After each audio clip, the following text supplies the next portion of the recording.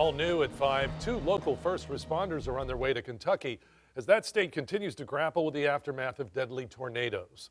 Both are members of the Hampton Roads Incident Management Team. They're part of a blended team made up of first responders from across Virginia. As we've reported, deadly tornadoes tore through Kentucky earlier this month. They left widespread destruction in their wake. The team from Virginia will help provide logistical support to crews on the ground and to members of the community. We're going to help people. You know, we as Americans, we put aside our differences when things like this happens. And that's what we're going down. We're just going down to help, and we'll help the locals in whatever they need.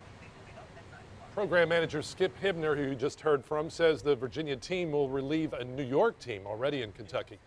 They're expected to return in Virginia in about two weeks. Hibner says these deployments also help the team gain more skills to better respond to disasters in Hampton Roads.